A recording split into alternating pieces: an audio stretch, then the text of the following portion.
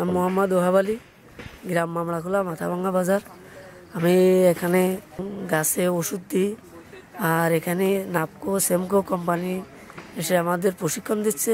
আমরা সেইভাবে এখানে আর কি চাষবাস করতেছি, তবে আশা করি যে লাভবান হব। আগে আমরা এখানে ওষুধ পানি দিতাম আমাদের ব্যক্তিগতভাবে। এখন আমরা এখানে অনেক কিছু শিখেছি। শেখার পরে আমাদের আগে প্রতিদিন ইনকাম হতো পাঁচ ছশো টাকা। এখন আমরা আশা করি ইনকাম হবে সিজনে পনেরো থেকে বিশ হাজার টাকা, বিঘা প্রতি। তেমন আমরা আশা করতেছি।